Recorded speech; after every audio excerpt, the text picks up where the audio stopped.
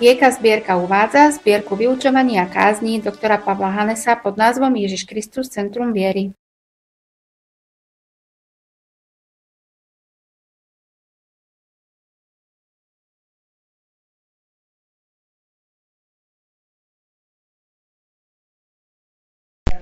Dobre, ďakujem Bohu. Takže začneme. E, dnes je adventná nedeľa. A advent hovorí o Božej láske. Advent je o tom, že Boh hľadá človeka. No, tak ako máme zápis, že keď náš pravocov Adam zrešil, tak Boh nereagoval na to, že a čo si to urobil a, a ja ti jednu strelím, ale išiel za ním a prvá otázka bola, kde si? Kde si? A tá otázka, kde si, je tak plná významu, takže my si myslíme, že vieme, kde sme, ale potom zistíme, že ja neviem, kde som.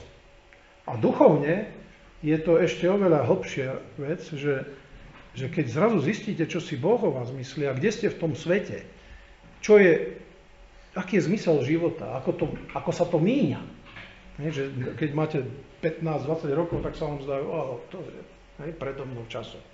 A potom máte 40, 50 alebo viac a zrazu zistíte, zrazu zistíte, že neviem, kde som. A keď mám 80 rokov, neviem, kde som a že potrebujem niekoho, aby mi povedal, kde som. A tá otázka je dôležitá. Takže Boh miluje človeka a advent je o tom, že prišiel osobne medzi nás, aby bol taký ako my, aby sme mu mohli rozumieť našej reči, aby sme vedeli, že vedel, čo je byť hladný, čo je byť smedný, čo je byť unavený, čo je mať nepriateľov, čo je bolesť a tak ďalej. Že vedel to a že my môžeme s ním korešpondovať. O tom je advent, o tom je, sú Vianoce a o tom je Veľká noc. Takže chcel by som hovoriť dnes o najväčšom prikázaní, o láske k Bohu. Pretože samozrejme, že Boh nás miluje, e, vyžaduje nejakú reakciu. A tá reakcia je niečo, čo je tak primárne alebo tak dôležité, že ak táto naša reakcia nie je v poriadku, tak nič nesedí. Hej, to ste dneska počuli, že miluješ ma, otázka. Že Ježišovi išlo predovšetkým o to, či ten jeho učeník Peter ho miluje. E, tá otázka bola nasmerovaná na to, že on zlyhal. A predtým veľmi sa, Slovák by povedal, že dušoval sa. Že teda, keď každý, tak ja nie. A potom, to bolo vyznanie lásky. Pane, ja, ja aj na smrť, ja ťa milujem. A myslím si, že bol úprimný, nie? Čo poviete, bol úprimný? Ale nevedel, kde bol. A toto je naša veľká chyba, že my, keď sme nadšení, my si myslíme, že vieme, kde sme. Ale stačí trošku nejakého sporu, nejakého posmechu, nejakej, nejakej bolesti, nejakého neúspechu a zrazu zistíme, že to, kde sme si mysleli, že sme v našich, e, našich, v našom duchovnom živote, že zrazu nie sme tam. Že zrazu máme pochybnosti, zrazu vieme zaprieť Ježiša, zrazu vieme E, nadávať, vieme používať reč, ktorú e, zakazateľom by som nikdy nepovedal, čo, to, čo moja žena niekedy musí počúvať odo mňa, žiaľ. No tak kde som tu, kde teraz pekne hovorím, alebo som naozaj tam, kde reagujem na to, že dačo sa mi nedarí a zo mňa to vyletí, tak kde si, Pán Johannes? A dajte si tam svoje no, kde si? Si tam, kde sa modlíš, alebo si tam, kde reaguješ na niečo. Jakub hovorí, že to z jedného prameňa nemôže dvojaká voda vychádzať. To znamená, že môžete ju zohriať, ale ona je studená, je tam taká. Takže e, veľmi dôležité je, aby sme sa pýtali teda, že aká je naša reakcia na to, že Boh od nás chce lásku, pretože nám dáva lásku, bezpodmienečnú lásku. A myslím si, že nejde len o to, aby sme vedeli, že Boh nás miluje, ale aby sme rozumeli, že Plnohodnotný vzťah je, keď sa dvaja milujú. To, že nás Boh miluje, to je úžasné. Ale ak na to nevieme reagovať, tak e, hej, Boh nám hovorí, ja ťa milujem. A my povieme, no a ja sa milujem.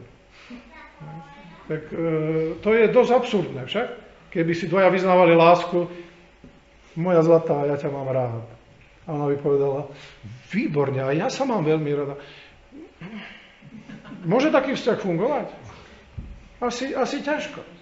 A my keď povieme Bohu, páne, to je úžasné, že nás tak máš rád, to, to, to je fantastické, naozaj, to sa mi hodí. No, hej, tak keď sa ti to hodí, to je síce pekné pre dieťa, deti to takto využívajú. Hej? Stará mama príde, čo si mi priniesla? Tak u detí tomu rozumiem. Hej? Ale ak to dospelý urobí, čo si mi priniesol? Tak sa pýtame, no, ne, nemal by sa pýtať, že čo ty odo mňa chceš skôr, ako to, čo si mi priniesol. Možno, nás to napadne, lebo sme takí deti až do smrti niekedy. Ale aspoň sa vieme pretvarovať. O tom je bontón, že sa pretvarujeme. Si pomyslím niečo, ale... Len Boh nepotrebuje bontón. Boh chce to, čo je realita nechce žiadnu hru, žiadny, preto ja nemám rád sviatky. Ja viem, že Boh má rád sviatky a ustanovil sviatky a existujú sviatky a ja nie som proti sviatkom.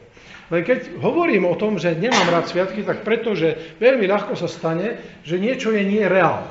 Viete, že nie sme z mesa a krvi a kostí, ale že sme nejaký nabubrali, ako keď sa moria, či, či páv, hej, hej, našu chorí a potom ho ošklbete a zistíte, že tam sotva mesa je z toho, hej, že to bolo všetko našochorené.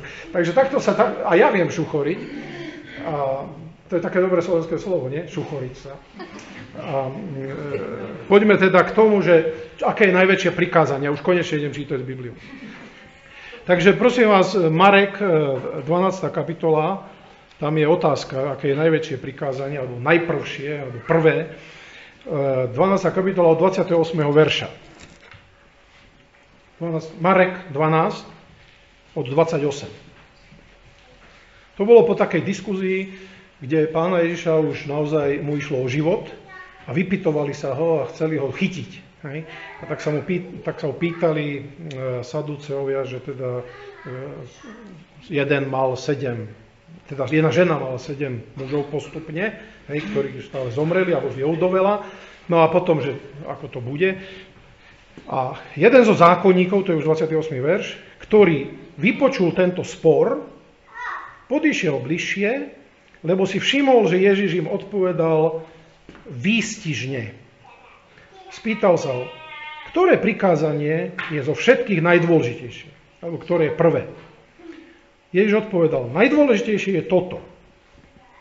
Počuj Izrael, pán, náš Boh, je jediný pán. A milovať budeš svojho Boha celým srdcom, celou dušou, celou mysľou a celou silou. Druhé je toto, milovať budeš svojho blížneho ako seba samého. Iného, väčšieho prikázania ako sú tieto niet.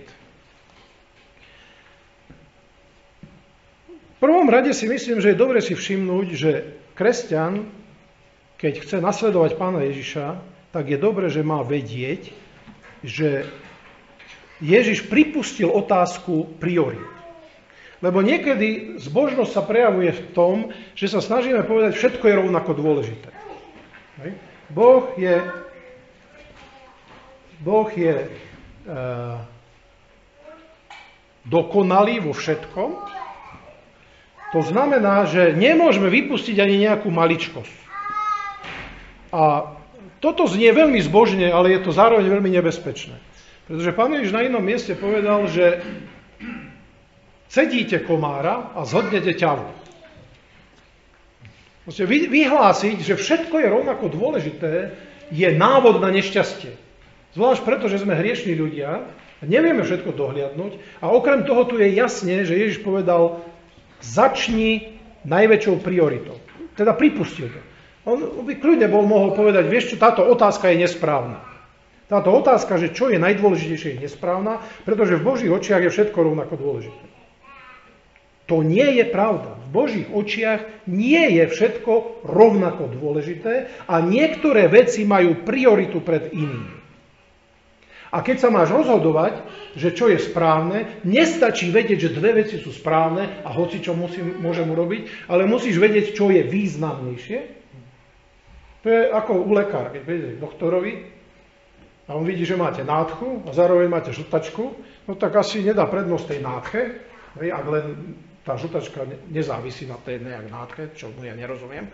Ale chápete, proste pokiaľ vám hrozí niekde niečo taká vážna vec a okrem toho, ja neviem, vás sprbí ruka, alebo ja neviem čo, tak nezačne sa tým, pretože niečo je najdôležitejšie. A najdôležitejšie je prvé prikázanie, o ktorom Ježiš povedal, počuj Izrael, máš jedného Boha. Ja som to parafrazoval. Máš jedného Boha. Počuj. Všimnite si, že to slovo je počuť je tam slovo Izrael. To znamená, že nie každý môže počuť, počuť môže Izrael. Tam sa Boh odvoláva na dejiny, pretože Izrael bolo pomenovanie Jakuba, keď ho Boh požehnal. Pamätáte si na ten zápas, že povedal, nebudeš sa už volať Jakub, ale budeš sa volať Izrael. Takže keď je počuj Izrael, toto prikázanie je pre veriacich ľudí. Nemôžete neveriacemu človeku prikázať, aby miloval Boha. To je absurdné. Poprvé, ja sa vás pýtam, môže zlodej milovať policajta? Ako koza nôž. Môže zločinec milovať sudcu? Asi ťažko. Je to nemožné. Okrem toho, Rímanom 7. kapitola 9. verš hovorí veľmi jasne, keď prišlo prikázanie, hriech ožil. To znamená, dokonca aj veriaci človek, keď počuje príkaz, budeš milovať Boha, tak sa v ňom niečo obráti a pýta sa, buď ja to neviem, alebo ako to mám dosiahnuť, alebo ja som nedokonalý, proste máme všelijaké reakcie. Niektorí si spomenú, pane, no ale tak ja mám aj skúsenosti, že nie si až taký dobrý. Hej, že to znamená, že...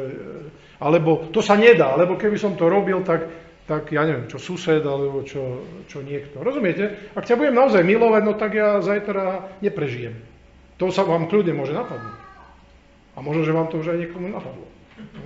Že keby som naozaj vyjadril tú najhlbšiu lásku k Bohu, zajtra o desiatej, nie dnes, ale zajtra o desiatej, takže niekto by na to zareagoval čudne.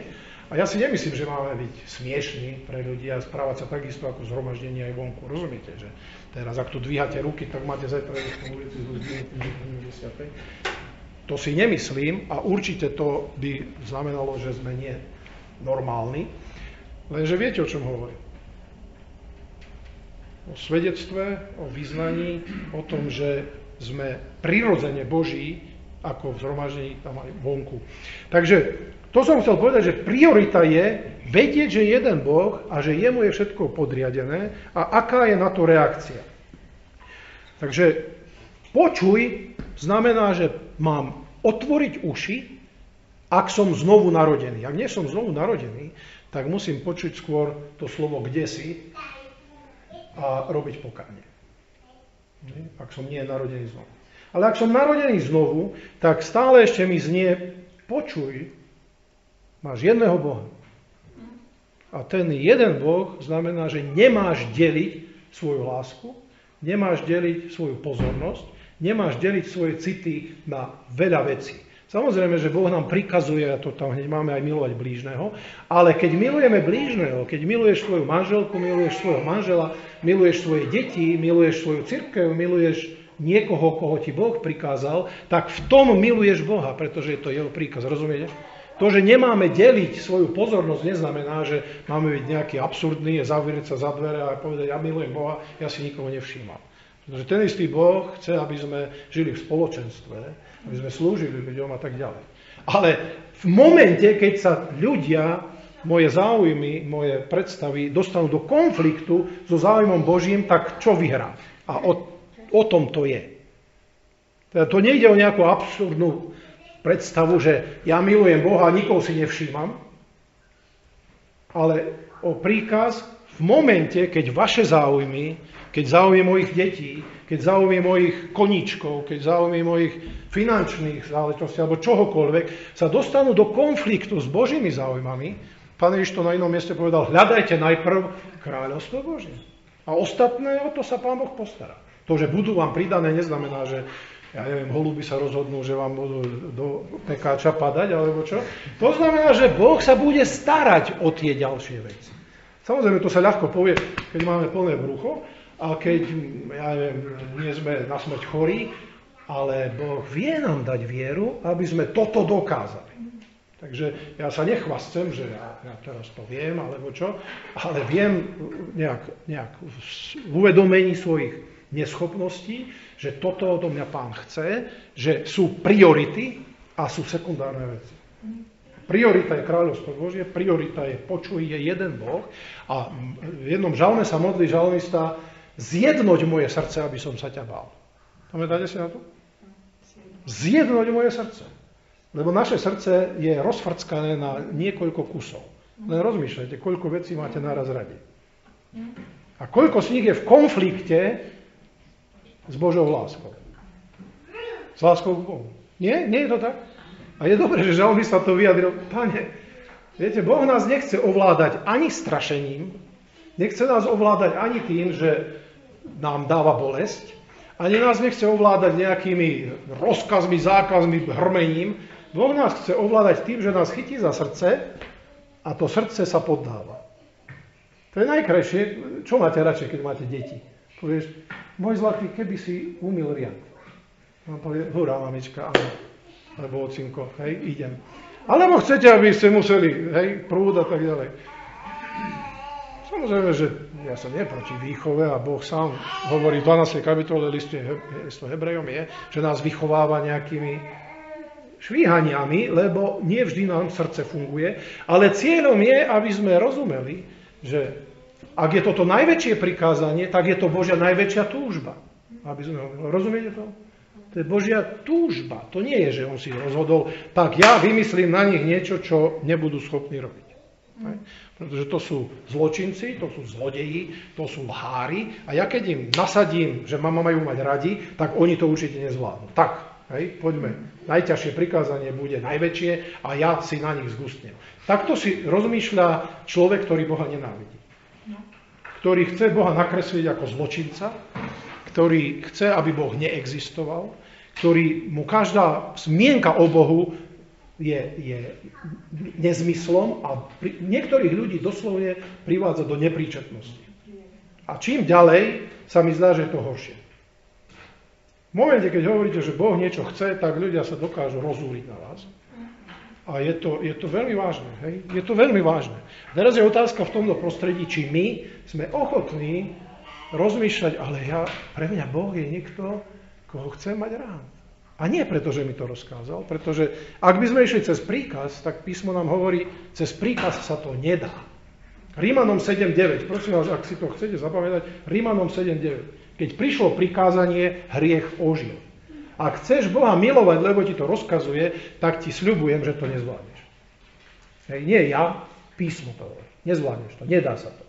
Dobre, ale my chceme Boha milovať, tak ako na to? A o tom je vlastne to, čo ja tu chcem predložiť. A prosím vás, bude, toho, bude tam viac bodov, ja ich vymenujem postupne a nemyslím si, že je treba, aby ste si všetko pamätali. Myslím si, že je dobré to urobiť tak, že tam, kde sa mňa to bude týkať, tak to si zapamätám. Rozumiete?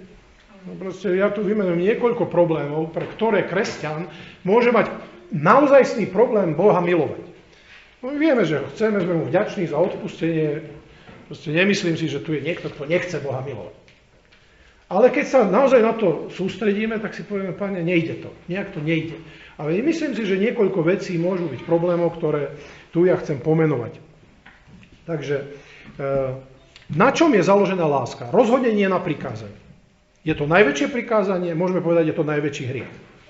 Lebo prestúpenie najväčšieho prikázania bude najväčší hriech, nie? Súhlasíte? Najväčšia urážka je, keď nesplním vaše najväčšie prianie. Niekto by mohol povedať, najväčší hriech hriech proti Duchu Svetému. Hriech proti Duchu Svetému nie je najväčší hriech. Je to neodpustiteľný hriech, lebo tam niekto zautočil na jediného, na jediného, na jediný prostriedok, ale to je bytosť Duch Svetý, takže na jedinú osobu, ktorá mu môže dať pokánie.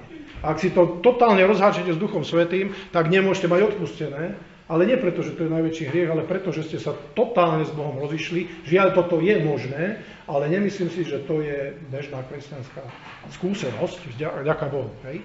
Ale najväčší hriech Boh vie odpustiť, chce odpustiť a najväčší hriech je prestúpenie najväčšieho prikázania, o ktorom tu hovoríme.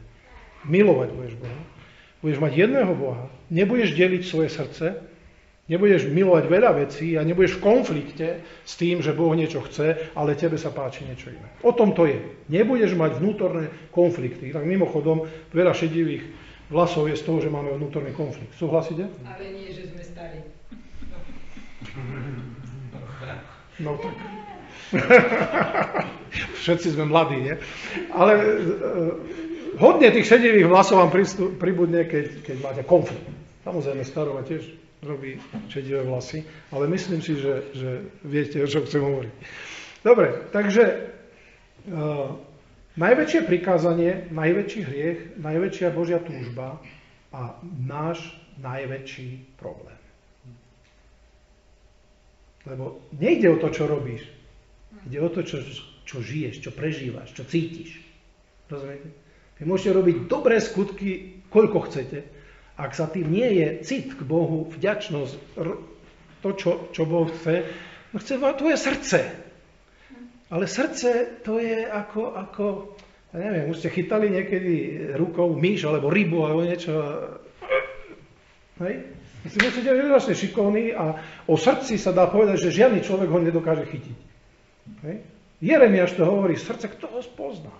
Nie, úplne ne, neposlušné a tak ďalej. Takže pomenujeme niekoľko vecí. Božia láska k Bohu je založená v prvom rade na odpustení hriechov. Hej, počuj Izrael. To je niekto, kto Bohu patrí. Takže ak chceme, aby sme Boha milovali, musíme si v prvom rade dať pozor na to, aby sme nikdy nezabudli, že máme odpustené. To je vzťah, tak by sme ho nazvali právny vzťah k Bohu. Pretože Boh pre hriešnika je v prvom rade sudca. On nie je otec, on nie je stvoriteľ, on je v prvom rade sudca. To je niekto, kto ti hrozí, že keď sa pre neho postavíš, tak povie, a toto, čo si robil, bolo zlé a neplnil si nie, že moje zákony, vlastné tvrdenia si neplnil. To, čo si nasadil iným ľuďom, sám si nerobil. To bude podľa mňa najdesnejší súd pre ľudí, ktorým Boh povie, to nie, že si neplnil to, čo som ja prikázal. Ty si ani to nerobil, čo si nasadil svojim zamestnancom, svojim susedom, čo si chcel od politikov, aby robili. Pozri sa, kritizoval si každého politika, že klame. Čo si robil, keď... A Boh si to všetko dobre pamätá, nepotrebuje ani knihu. A on ťa len vovedie do tej situácie a ty povieš, a naozaj, presne to, čo som iných súdil, to som robil a ja som to hovoril. Nie, že Boh mi hovoril. Ty si hovoril, že to sa nesmie. Ale robil si to. Kto ťa odsúdi? Z tvojich úst ťa súdim. Pamätáte si? To je v jednom podobne. Z tvojich úst ťa súdim. Podľa mňa to je tak, tak zúrivé pre niektorých ľudí, že tak by som povedal, keby rozprávkové sme hovorili, tam sa roz, rozlejú na kolomaš. Pamätáte si, ak sa niek- v niektorých rozprávkach rozúrili, že sa rozliali na kolomaš? No ja už neviem, či vieme, čo je kolomaš. Hej, ale tým, či sa mažu, ma, ma, mazú, ma, mažu, mažu. Ďakujem, Slovenčina moja, neopúšťaj ma. Hej, proste niečo čierne a úplne také, hej, špinavé a, a od zlosti, pretože Bo, Boží súd nie je nahnevaný v tom zmysle, že on si ja ti dokážem. No stačí, aby moje ústa použil. Pane, buďme milostiví. A keď si spomeniem, že Boh mi odpustil a že nejde spomínať moje výroky, moje sklamania, moje zlyhania, veci, ktorých ja mám, tam mi dvíha žalúdok nad sebou. A on to nejde spomínať, tak za tým je vďačnosť. A táto vďačnosť je základom lásky. Nie je rozkaz. Vďačnosť. Si vďačný? Že Boh nejde spomínať, čo si povedal, čo si vyviedol, kde si koho zabudol, podviedol alebo niečo. Boh to nejde spomínať. To je vďačnosť, za tým je. A tam táto vďačnosť hovorí o tom, že Boh nám udelil milosť. Nám udelil milosť. A milosť je sladké slovo. Milosť, ja si pamätám, keď som bol na vojenčine a potom ma pustili. Ja som nebol na vojne za trest, ale, ale neviem, vojaci, čo ste boli voľa kedy, nie? tak sme to prežívali, akože keď už konečne to skončí. Keď ma pustili, No tak to bolo úžasné. Hej? A to je niečo, keď ťa Boh pustí z väzenia viny a, a strachu, zrazu prežívaš milosť. A o tom hovorí Efezanom 1. kapitola 6. verš, ktorý hovorí o tom, že máme vykúpenie skrze jeho krv, odpustenie hriechov podľa bohatstva jeho milosti. Podľa bohatstva jeho milosti. Teda Boh nemá trochu milosti, že ti udelí tak ako štipku a už dosť. Hej, ako keď vám niekto dáva nejaké sociálne dávky a už nemáme viac, alebo niekto vám požičia, ale už vám viac nedá. Boh má dosť milosti a vyžaduje jediné, aby sme tomu verili, aby sme to prijímali, aby sme sa tým nechali ovplyvniť. A zážitok z toho je to, čo Rímanom 5. kapitola hovorí, pokoj s Bohom. Pokoj blížiť sa k Bohu. Pokoj v tom, že keď si pomyslím na Boha, tak mám pocit, on sa nehnevá. On mi to odpustil, mám to v poriadku. On mi daroval vieru, a toto, čo mi daroval, je skrze kríž. Môžeme povedať, že vždy, keď prežívame Božiu lásku a my prežívame lásku k Bohu, tak v, v ohnisku našej pozornosti musí byť Kristov kríž. Na to nesmieme nikdy zabudnúť. A tu vidíme kríž ako obeď za hriech. To, aby Boh mohol odpustiť, to nie je zľahčenie hriechu. A toto si myslím, že je jeden veľmi vážny moderný kresťanský problém. Že bežne kazatelia, teológovia, kresťania v laviciach, ak to tak smiem povedať, si myslia, že Boh odpúšťa preto, lebo zľahčil hriech. Viete, ja môžem povedať, no, niekto mi ukradol 10 eur, dobre? Ak som nie bohatý, alebo ak si bohatý, tak nech ti ukázal tisíc. Hej. No ale môžeš urobiť, ale nejdem sa s tým trápiť, kašľať na to, budem ho brať na súd, alebo čo, vieš čo, maj si to, kašľať na to. Hej. Zľahčil som tú, tú škodu, ktorú mi niekto urobil, lebo vám poškodí auto, alebo dom, alebo rozumiete, niečo vám urobí, udrieva, a povieš, vieš čo, kašli na to. Povedal si, čo bolo, bolo, alebo čo sme si, to sme si, hovoríme niekedy, nie? Zabudnime. Toto Boh nemôže urobiť. Ak by to urobil, tak nie je spravodlivý. Jednoducho, ak má byť spravodlivý sudca, nemôže existovať dlžoba, ktorá je nevyplatená. Jednoducho to nemôže existovať. Ten, ten súčet musí sedieť.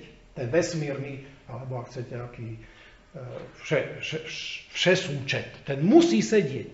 A každý, kto bude súdený, môže do toho nazrieť a povedať, Pane Bože, ako sa toto vyrieši. Boh, ak chce byť Bohom, tak to musí každému vedieť ukázať, tak ako keď máte audit. Ste niekto účtovník? Nikto. Ale asi viete si predstaviť, hej, že keď príde kontrola a teraz všetky účty majú sedieť, všetko sa má doložiť, ako sa to vyriešilo. No máme z toho e, asi, asi husiu kožu, hej, pretože byť úplne presný a dôsledný je, je, je veľmi, veľmi náročné. Ale Boh je náročný a v prvom rade je náročný na seba. A o tom je kríž, že Boh nezľahčil hriech a ty nemáš odpustené, pretože to, to nebolo vážne, čo si vyviedol, ale pretože povedal, dobre, pozri sa, to, čo patrilo tebe, ja som vložil na seba. Že o tom je advent, že Boh prišiel, aby vzal moje čo? Zločiny, moje lži, moje, moje zlé túžby na seba a povedal, ja to beriem vážne, ale ja ťa tak mám rád, že som ochotný to vziať na seba a ja zaplatiť. To, že on to zaplatil, to je metafora, pretože samozrejme nikomu neplatil nejaký obnos, ale bol ochotný zniesť smrť, pretože odplata za hriech je smrť. Preto musíme stále pamätať, chceš milovať Boha, aký máš vzťah ku krížu. Bez kríža nie je možné milovať Boha. A ak si myslíš, že odpustenie je zľahčenie hriechu, tak ti neustále budeš krípať láska k Bohu. Boh nesúhlasí, aby sme boli oslobodení lžou. Boh to nepripustí. Boh chce, aby platilo vždy to, čo Ježiš povedal. Poznáte pravdu a pravda vás vyslobodí. Najhlbšia Božia pravda v Evangeliu je Kristov kríž ktorý je múdrosťou Božou, ktorý je nevyčerpateľný a ktorý všetky, všetky bytosti anielské neustále rozmýšľajú, čo to Boh vlastne vymyslel za, za neuveriteľnú vec, že toto urobil. Kríž je oveľa hlbší, ako si my myslíme a často kresťania si myslia, no už to máme za sebou, sme znovu narodení, sme, už vieme, čo je kríž Evangelium, poďme hlbšie, poďme k charizmu, alebo poďme k niečomu.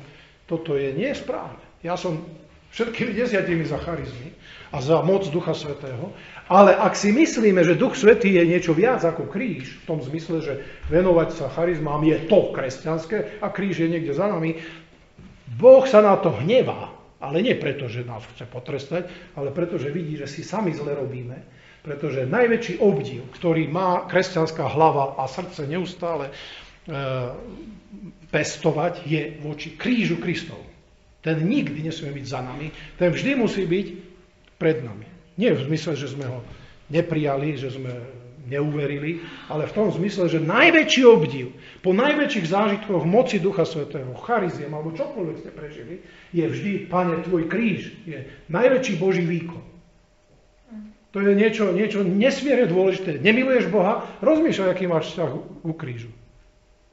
Čo je tvoja priorita? Kristov kríž alebo nejaké kresťanské zaujímavosti?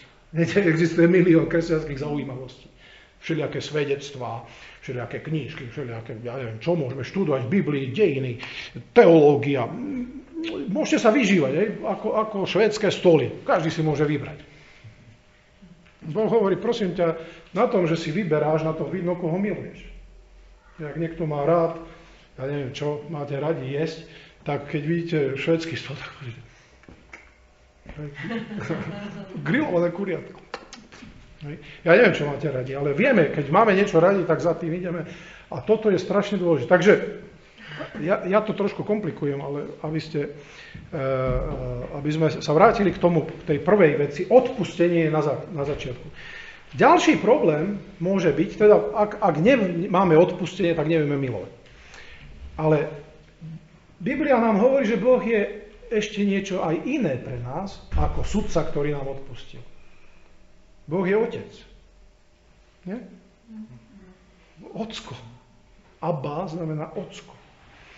A táto Božia láska, ktorá sa prejavuje v tom, že je otec, tak tá hovorí o tom, že nás adoptoval. A kresťan, ak si myslí, že Božia láska je založená na tom, že, že my sme posvetení, že správne veríme, že právne, správne prijímame kríž, tak ešte stále máme niekde zvyšky toho, že Božia láska je založená na našej kvalite. Prosím vás, ja, toto je veľmi riskantné, pretože áno, Boh chce, aby sme boli kvalitní kresťania. Boh chce, aby sme boli posvetení. Pavel píše Tesaloničanom, to je Božia vôľa, vaše posvetenie. Takže ja tu, nech ma Otec nebeský chráni, aby som tu nejak zľahčil posvetenie. Treba tu ale však dať veľké ale. To, že Boh chce, aby sme boli posvetení, to je nie preto, že na tom podmienuje svoju lásku k nám. Posvetenie je výsledkom jeho lásky a nie podmienkou jeho lásky. Boh nás adoptoval a ak sme jeho rodina, tak nás má rád, pretože sme jeho rodina. Či sa nám darí, alebo nie.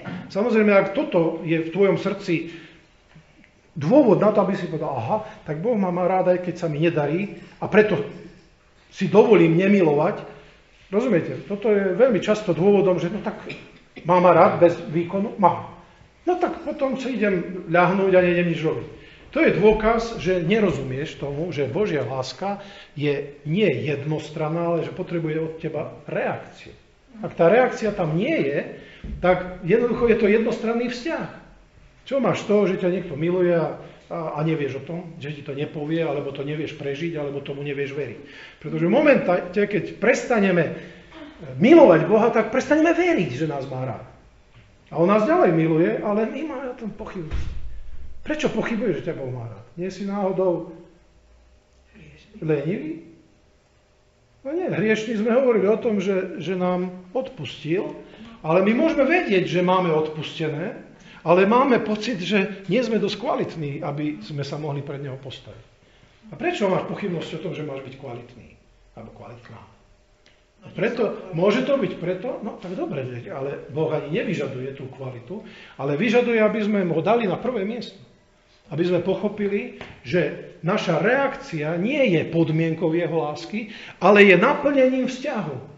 Znamená, ak s Bohom chcem mať reálny vzťah, tak musím na to reagovať tým, že ho postavím do, ako prvého, pretože inak nemám Boha, inak som Izrael, ktorý má iných bohov a Boh ho má ďalej rád.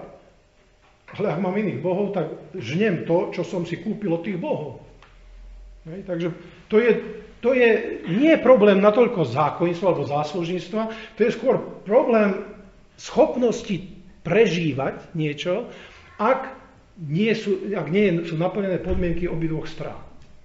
Tá prvá vec je právna, ale táto vec je skôr citová, alebo ak chcete psychologická, alebo proste my veríme tomu, do čoho sa vieme vložiť. Ak sa do toho nejdeme vložiť, tak niečo tomu bude chýbať a môžeme vedieť, že máme odpustené, napriek tomu naše srdce nebude horieť láskou k Bohu, lebo sme niečo zanedbali.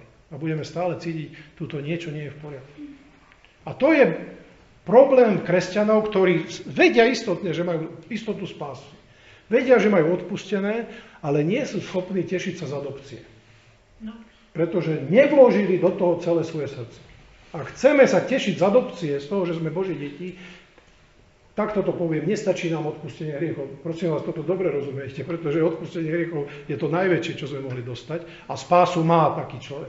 Ale nevie sa vyžívať v tom, pretože niečo do toho vzťahu nedáva. Ak my budeme veľmi dobrí priatelia, príbuzní, všetko, ale nebudeme sa nikdy stretávať, prosím vás, aký bude náš vzťah?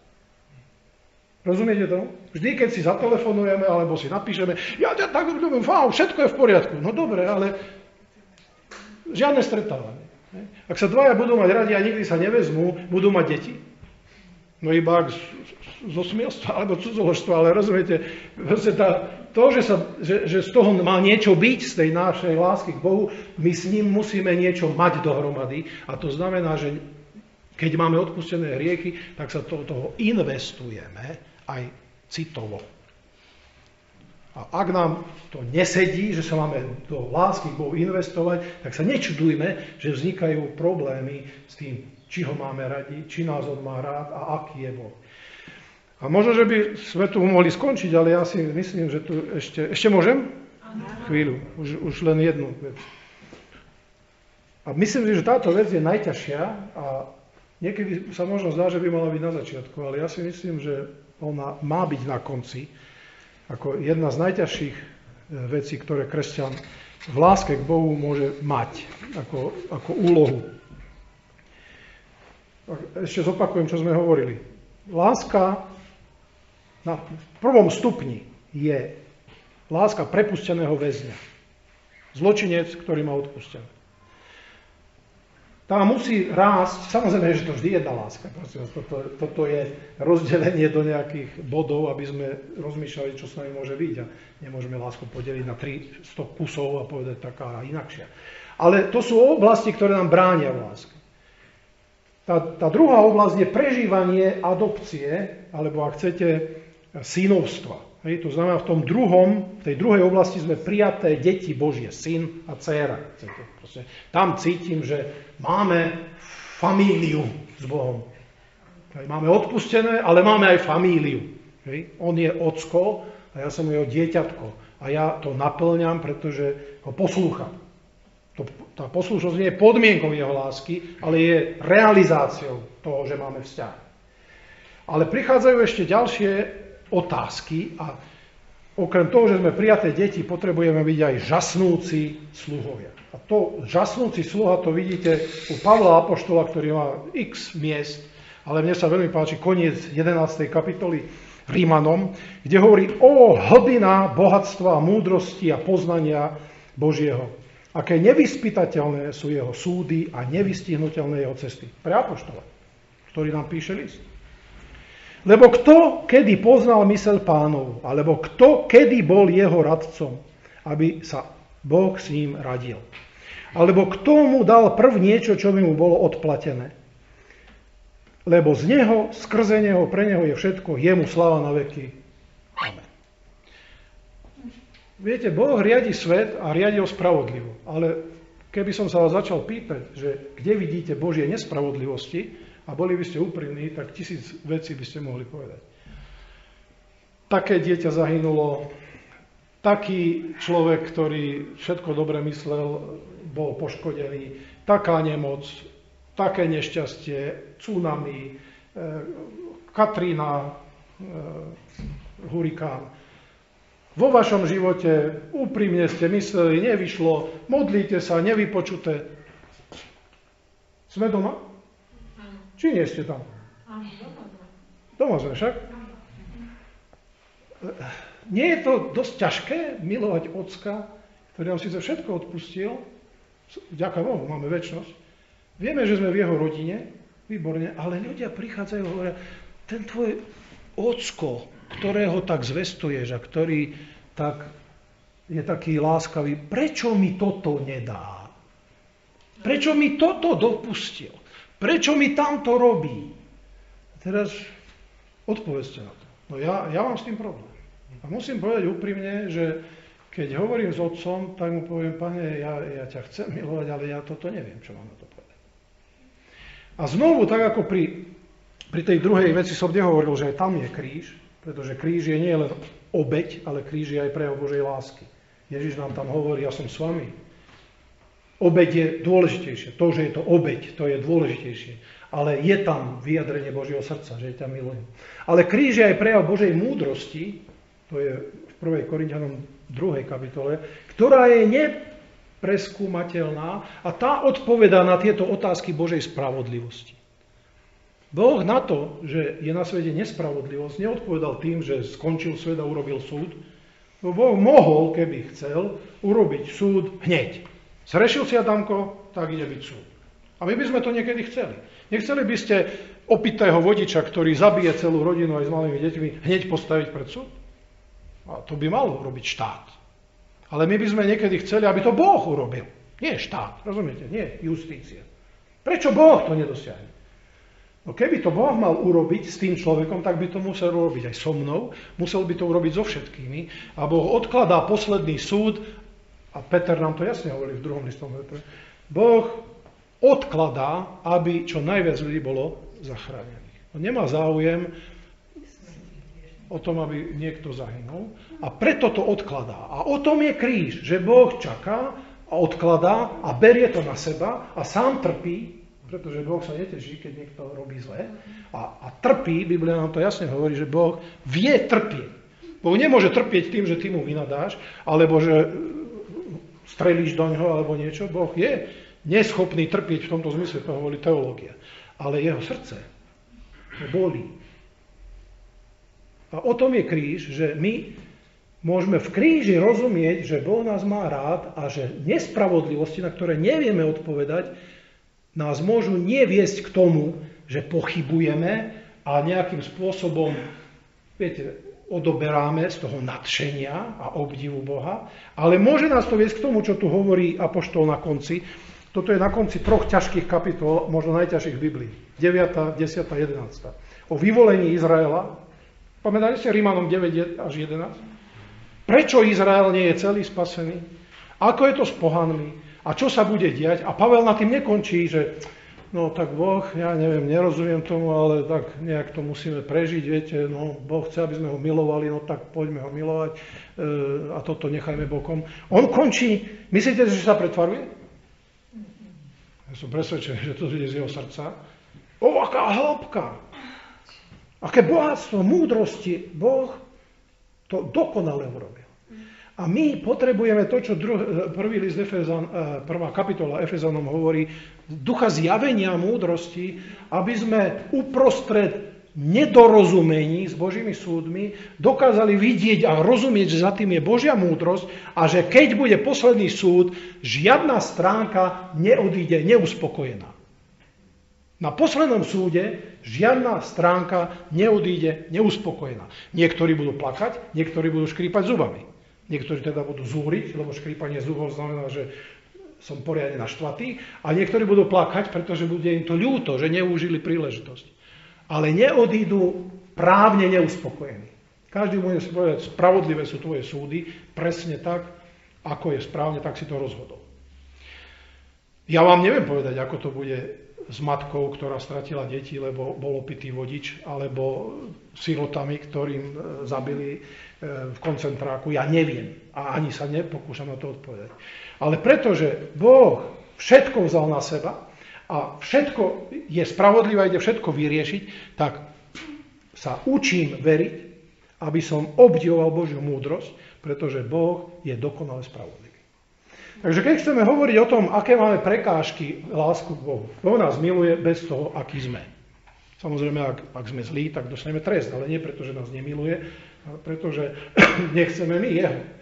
Ale ak sme kresťania, sme Izrael Boží, a môžeme mať prekážky, že si neuvedomujeme odpustenie, zabúdame na odpustenie, alebo si neuvedomujeme, že sme rodina, že máme s ním mať nejaké kontakty, lebo láska sa musí pestovať, alebo si pripúšťame pochybnosti o Božej spravodlivosti. A toto je dnes veľmi časté.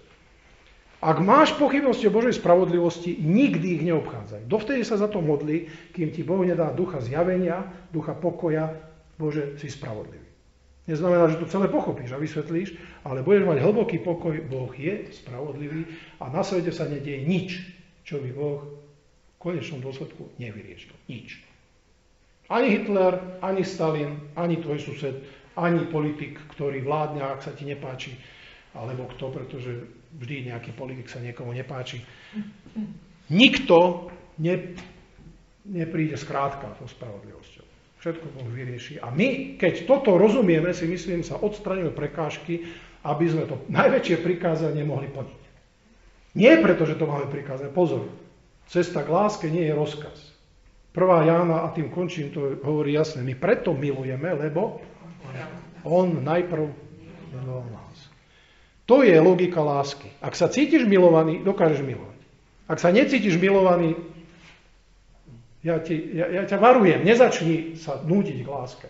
Lebo to je tak, ako náš učiteľ jeden hovoril, že my sme boli ospali, spali sme v laviciach. Hovoril, vám sa chce spať, aby som nezaspala, niekedy vám nožami pichali. Tak keby ho nožami pichali, tak asi by nezaspal. A to je to isté, ako budeš ma milovať? Ja ti dám jedno, hej, dám ti jedno podzuby, ak ma nebudeš milovať. No, tak určite ho milovať, hej, mám ťa rád, mám ťa rád, mám ťa rád, hej. Len ma nebí, hej. No, Boh nie je takýto. To Calvin povedal na jednom mieste, že, že ľudia si z Boha robia malé sprosté dieťa myslia si, že ho ukecajú, alebo e, mu predložia nejakú hračku a Boh bude celý šťastný, že mu niečo vyznávame, alebo že sa nejak správame. Boh chce naše srdce, chce realitu, chce pondelok o desiatej. A nie v nedelu o desiatej. Samozrejme, nedela o desiatej je fajn. Ale ak nevieme ho milovať v pondelok o desiatej, alebo ak chcete v stredu, hej, tak niečo, niečo nie je v poriadku a možno nám vadia tieto veci. Pane, e, toto súdi alebo kontroluje moje vlastné srdce. Chcel by som, aby tá realita, reakcia na Tvoju lásku a nadšenie tým, aký si a kto si pre kríž Tvojho syna, aby bolo reálne každý deň, vo všetkých situáciách, tam, kde sa viem ja neviem, nahnevať alebo hrešiť. Ak sa vám toto video páčilo, nezabudnite upozorniť na ňo svojich priateľov. Tiež som vám vďačný za každý váš komentár tu dole pod videom. Ak sa vám toto video páčilo, prihláste sa na odber môjho YouTube kanála Jozef Kryžovenský. Spojte sa so mnou na Facebooku, tiež Jozef Kryžovenský. Objednajte si pomocou e-mailu kryžovenský.gmail.com odoberanie informačného občasníku o novinkách, ktoré som zozbieral. Tiež sa môžete so mnou spojiť na Twitteri Jozef Križovenský. Rieka zbierka je súkromná zbierka plná informácií, ktoré majú potenciál zlepšiť život človeka a obohatiť jeho myslenie. Svoju súkromnú zbierku Jeka zbierka zverejňujem zdarma.